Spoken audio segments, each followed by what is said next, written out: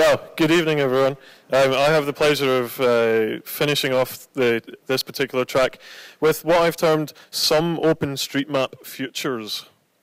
And the slightly convoluted title is because I believe there are many possible futures.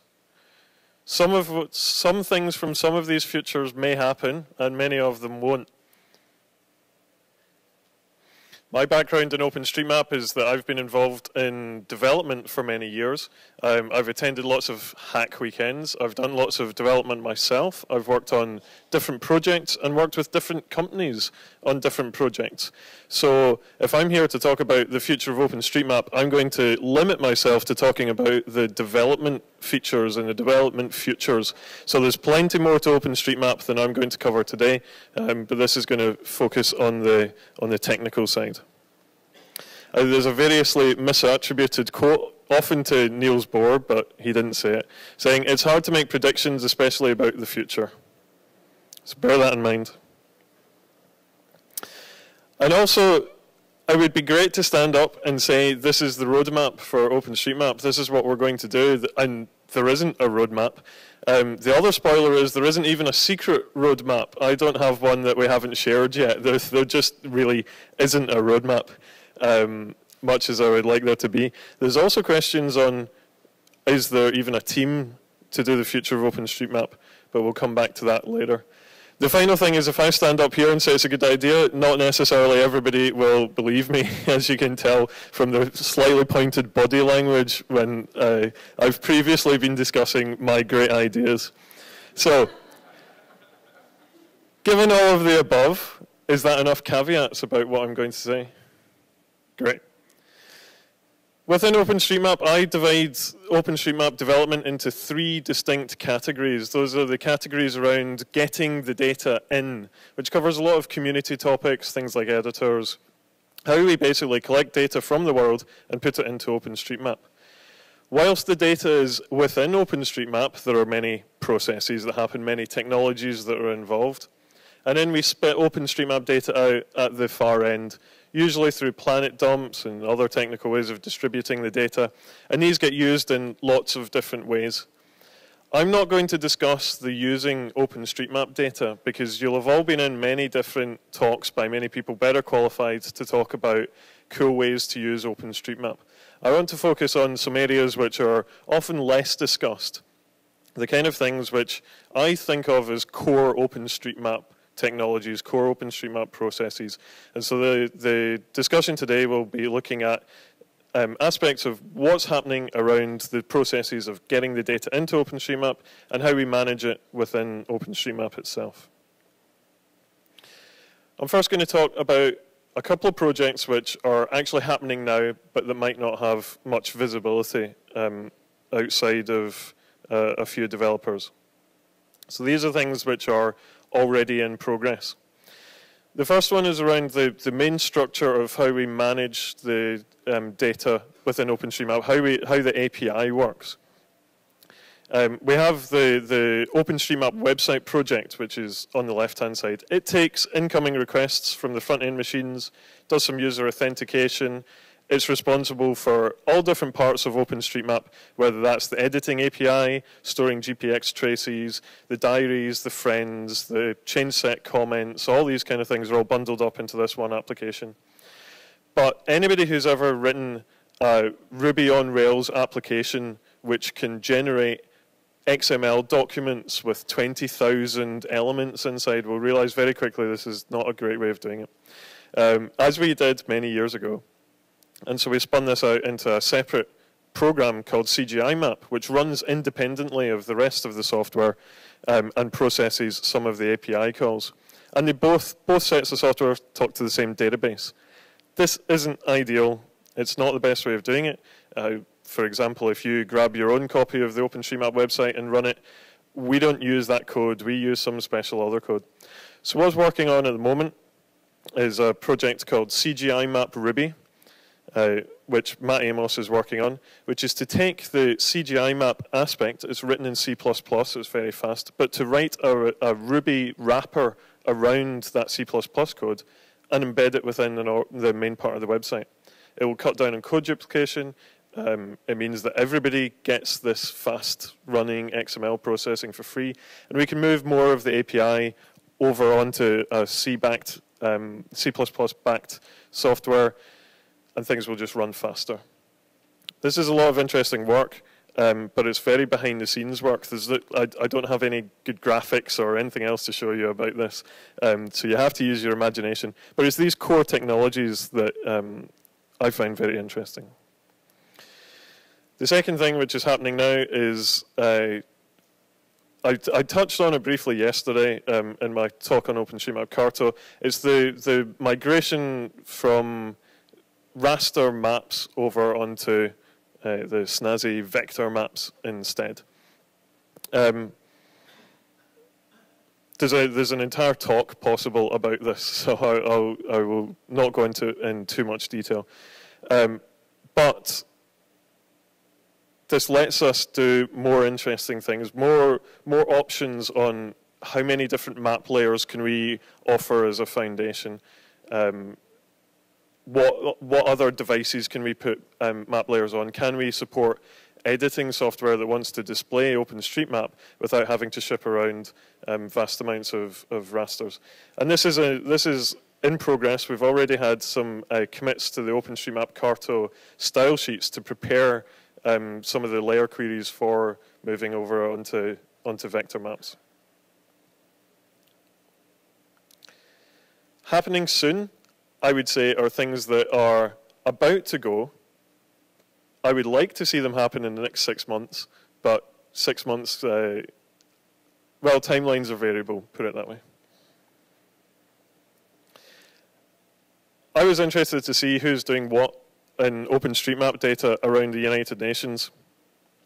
And I thought, this is great. We have a history tab on OpenStreetMap. Many of you will have seen it. Many will have used it. I thought, let's have a look at the first change set. Power tags were upgraded. Okay, sounds interesting. What's going on here? Oh, it's not really round here, is it? Yeah. Anybody who uses the history tab will very quickly end up with this um, feeling. But there is a solution, um, and this is something that has been worked on for many years, uh, and is, is in desperate need of people to join in and help. It's called the OpenStreetMap watch list. Instead of looking at each change set and the, the total area that is covered by that change set, instead we divide the world up into many hundreds of thousands of squares and record for each of those squares things that have happened actually in that square, so that it's not one thing up here, one thing down here, and we claim that everything in the middle is involved in the change set. Um, it's, it was started originally by Matt Amos, but taken over by um, Powell uh, as part of a Google Summer of Code project, ported to Rails, um, and we arranged new hardware for it. But we're often short-handed on these things. So um, it's, it's currently being slowly developed, but hasn't got much impetus behind it. If you wanted to get involved in a project which will instantaneously make the history tab work much better, check this out.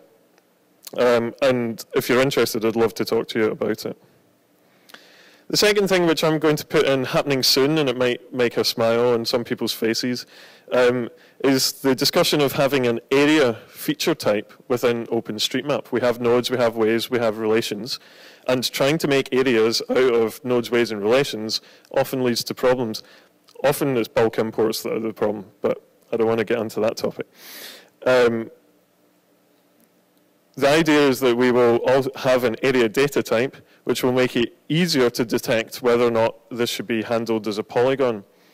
Um, Jochen gave a, a, great talk about it at State of the Map in, in 2013, um, in which he described the five different ways that areas are recorded in OpenStreetMap.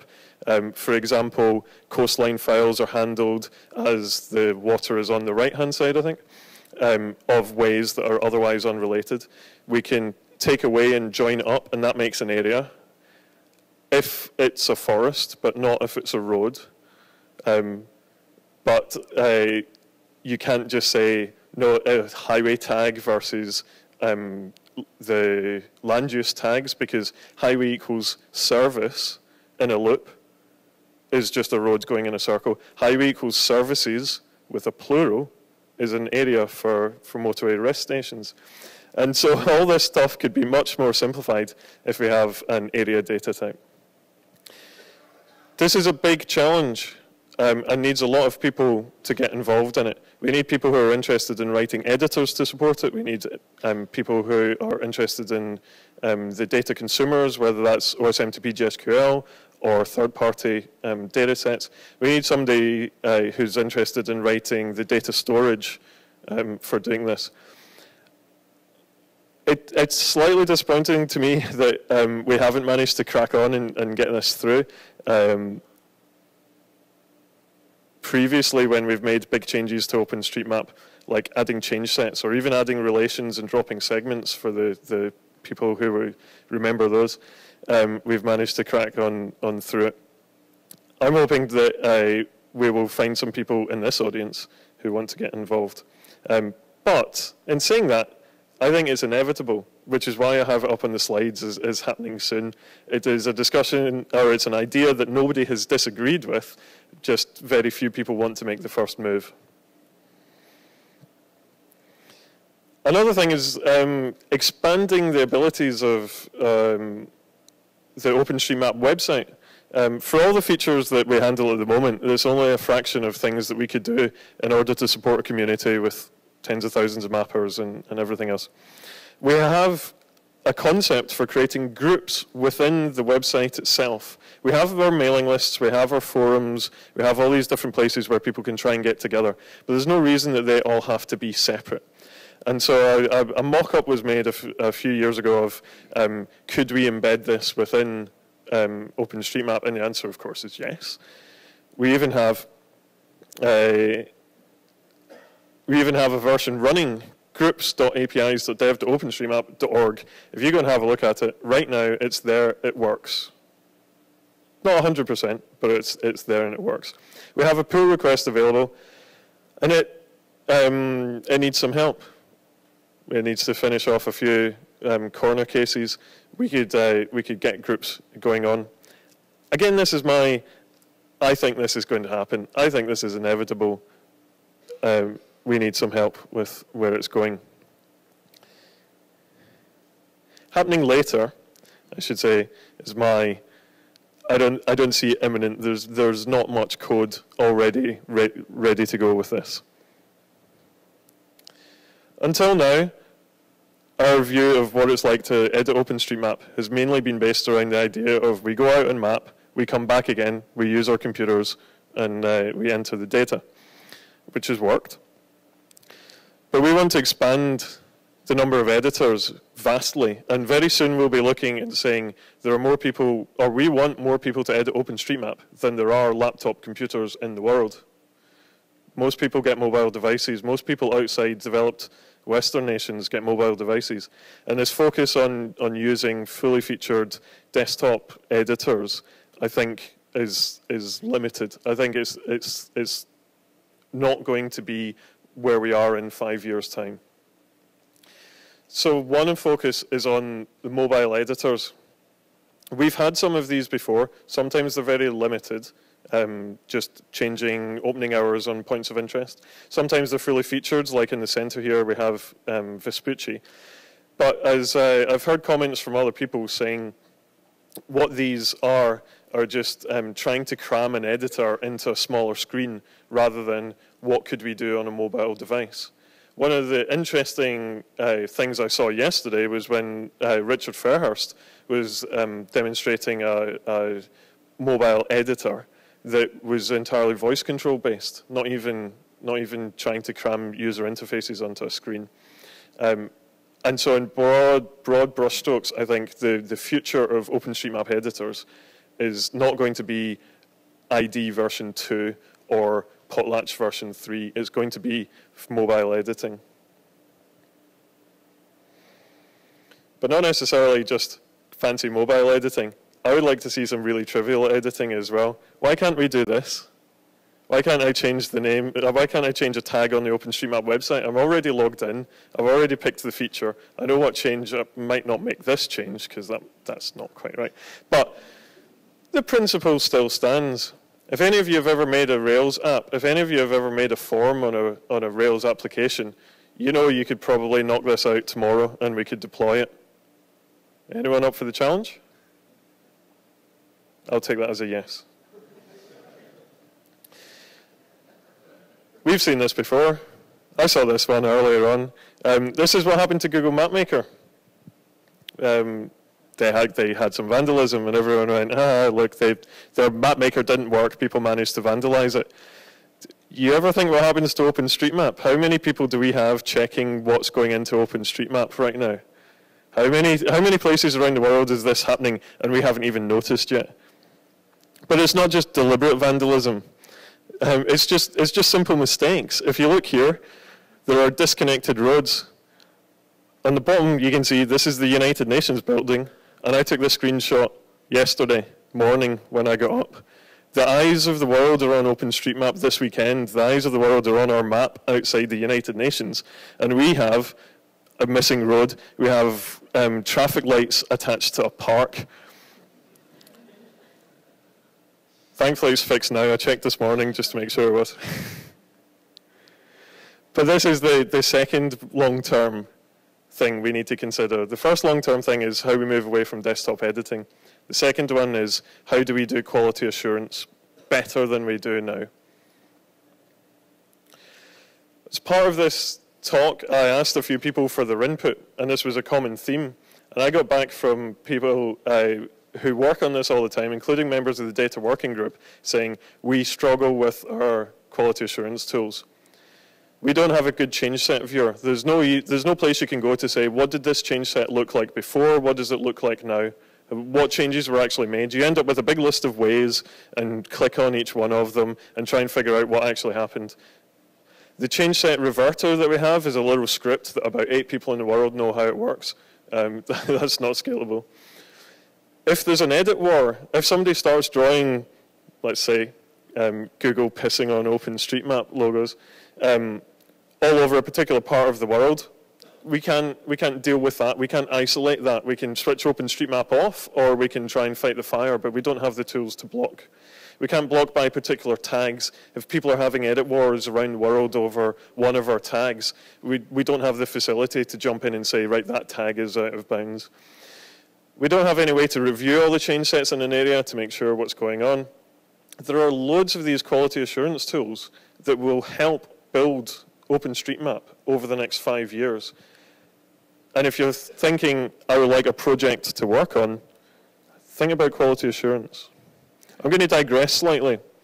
I said at the start there weren't many developers. So who's going to do all this? Um, a couple of years ago, I had an idea to find out who develops OpenStreetMap, or more importantly, to get 100 people a year developing OpenStreetMap, core OpenStreetMap tools. I used a list of um, core software that had come out of the engineering working group. Here's the list of projects. Um, and I was very pleasantly surprised because I wrote a little script and went through all these projects and said how many people have edit, how, how many people have contributed to these projects in the last year, and I'll next year I'll get that up to 100. And it came out and it said there were 97 last year, and so I thought, oh, well, job done. I don't need to worry anymore. But I dug out this code recently and uh, put some numbers together. So here we have the number of contributors every year for those core projects. Bear in mind that 2015 is only halfway through, so I do expect that to, to probably go up a bit um, at the end. And you can see it's looking good, it's going up. What's more interesting, though, is if you break it down into cohort analysis. So each of these bars are now colored by what year those developers started, what, what was the first commit amongst any of those projects, and are then tracked as they move around between all the different projects, and whether they reappear in the following years. 2006 is like right back when it started. So the four guys who jumped in there, actually most of them stuck around. Um, and we can see things like in yellow, the 2008 cohort kept going we had a big, big chunk of people. We doubled the amount of developers in OpenStreet, or rather half the developers that um, were active in 2008 were new people, and most of them stuck around for subsequent years.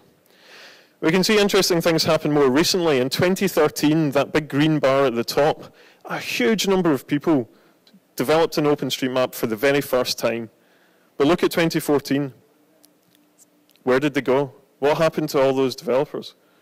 We have the same uh, problem so far in, in 2015, where that huge chunk of purple 2014 era developers, they've all gone as well. they graduated. So, so some of this is an, an anomaly. Um, 2013 was when the iD project was launched onto the main page, and an awful lot of developers were doing um, presets. They were um, suggesting changes for presets within the iD editor. And that's the kind of thing where um, you know, they come in, they make, they make a pull request, and then, then they leave again. But it does concern me hugely that these people got not only interested in OpenStreetMap, not only to the point that they downloaded the software, not only to the point that they managed to fix the problem they wanted to do, but made a request, and that re pull request was successful, and we didn't manage to retain them.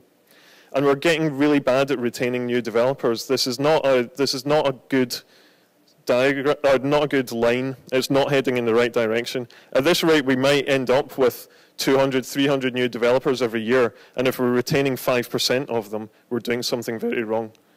I want you guys to think about the possible consequences of what happens if we retain people like that. Who's going to be here still helping Steve out with his uh, grand project in five years' time?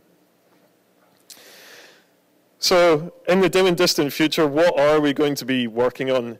I've given as far as I can imagine um, with specific topics, and that's, a, that's as good as my forward vision can get. What I would say is that I think there's a big theme behind what we're doing. The way things have changed over the last few years indicates where we'll be going in the future. And this is the idea that um, in all of the different aspects of OpenStreetMap, we are moving from a situation where you, um, you get to edit it or you get to make your change. Don't worry if it breaks everything, we'll fix it later. I don't think that's sustainable.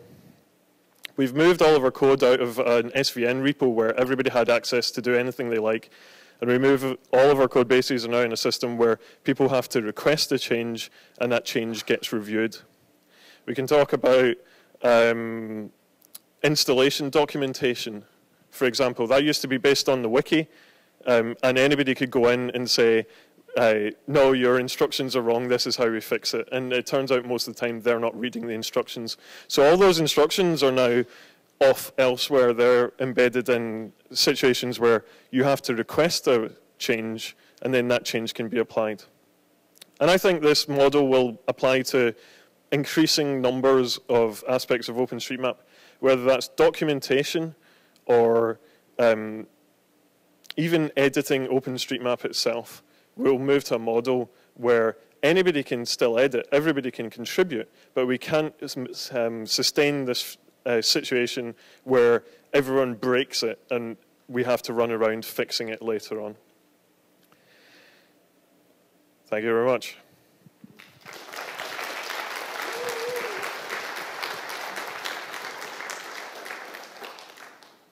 We have time for questions.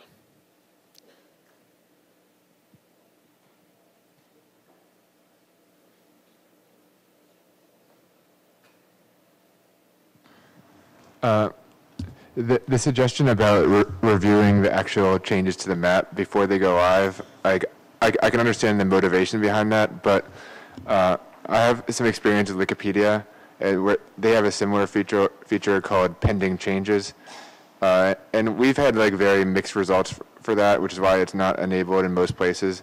The, the basic issue is that if you have this huge number of new contributors, most of which are, are are in good faith and trying to do a good job, and then the small number of reviewers, you, you get like a, a backlog.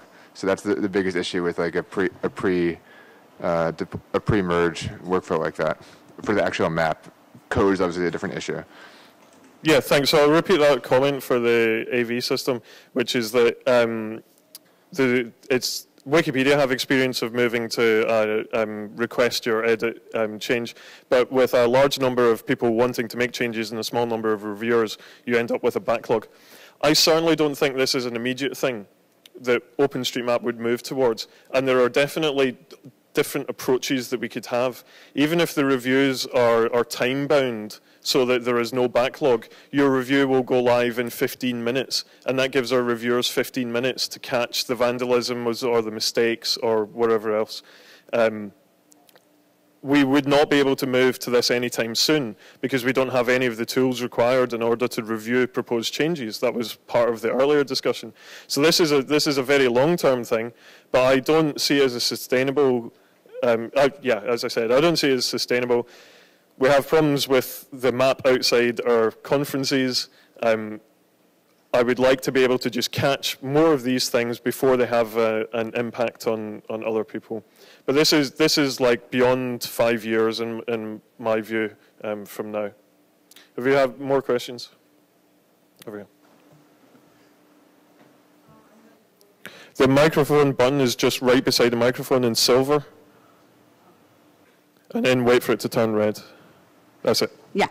Okay. Uh, one question here. Uh, is there any plan to do more um, for the login or register process when somebody just start being an editor to identify the age, uh, the gender, the region or something. I think that's that will be a way to also kind of control where people is living and when they are not remaining um, more time as editors. So maybe having something like that for information at the beginning could give us a better overview. Yeah, so the question is, um, is there going to be more data collected about the editors who are, who are signing up in order that we have better information on them? Um, yes, I can see these things being useful. There's a, there's a huge privacy implication, and, and we don't want to discourage people from signing up if they're not happy answering questions. What I would say is that we already collect lots of data about people who use the website, and we do no analysis with it at all. We have a, a an analytics system, um, and we know who's logged in, how long they're on the website for, um, which pages they go to, has anybody ever used the history tab and enjoyed it, that kind of thing. Um, but actually, we're, we're short-handed. We don't have people an analyzing any of the data that we have at the moment. So the problem is not are we collecting data about our users, are we, it's the fact that we're not making any decisions based on the data we're collecting already. I'll go with Ilya. Work?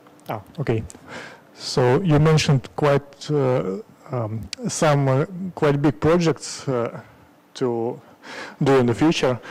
Or do you believe there will appear uh, an unpaid volunteer who, si who single-handedly finishes one of those projects? Yeah, so the question is, do I believe that there will be uh, volunteers who can single-handedly finish one of these things? No. No, I d I don't think any of these projects that I've outlined are the remit of one person to work on alone. Um, many of the projects that we have in OpenStreetMap at the moment um, generally have one or two main contributors who do the vast amount of the work. That's, that's normal for open source projects. Um, but I would like to work with the um, developers around OpenStreetMap in order to help different projects get more developers in. I'm very proud of the fact that OpenStreetMap Carto has got four committers and 49 contributors and, and hundreds more who, who work on things. Whereas many of these key things that I'm talking about, it's one guy working on his own and only has three issues um, uh, against his repository. So there's a second half of that is, is it going to be a volunteer who does it or is it going to be paid developers? Um, Thankfully, it's half past now, so I need to finish before answering that question. All right, thanks very much. Yeah.